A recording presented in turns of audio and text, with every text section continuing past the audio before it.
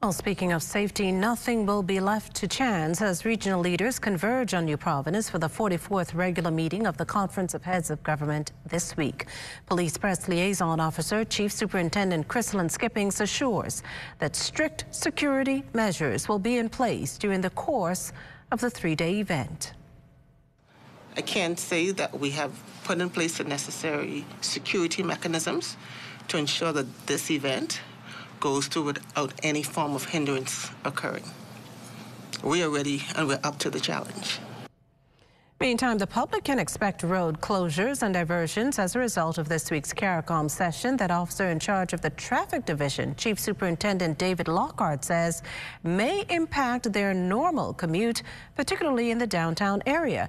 Now, the first closures will take effect as of 4 p.m. Thursday, while barricades will be erected along affected areas uh, Frederick Street between Bay Street and Princess Street, Parliament Street between Bay Street and East Hill Street, Shirley Street between East Street and Frederick Street, Blue Hill Road between Dillard Street and Cumberland Street, Dillard Street in the area of Hospital Lane and Blue Hill Road, and George Street between Duke and uh, Bay Street. As a result of those road closures, um, all traffic traveling north on Blue Hill Road will be diverted west onto Dillard Street. All traffic traveling east on Meaden Street will be diverted uh, south on Hospital Lane.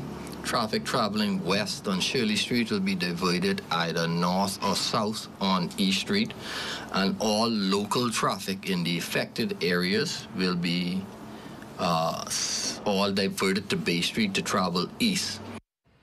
East Hill Street will also be closed. Lockhart adding that as of noon, traffic along Frederick Street will flow northbound as opposed to southbound, with the same flow also for Market, George, and Parliament Streets. All the road closures will stay in effect from 4 p.m.